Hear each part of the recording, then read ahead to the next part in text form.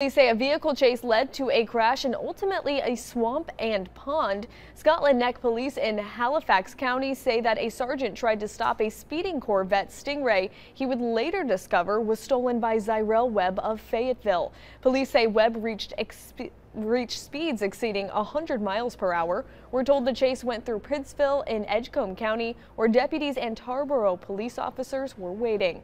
Police say Webb ended up crashing into a guardrail. We're told Webb then ran into a swamp and then a pond. A drone was launched, which helped find two people hiding in the water.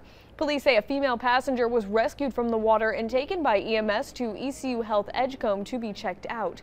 Webb tried to get away but was found and captured with the help of the drone, police say, and he was taken to ECU Health Edgecombe for evaluation and then to the Halifax County Detention Center where he's being held without bond. Police say there were no significant injuries.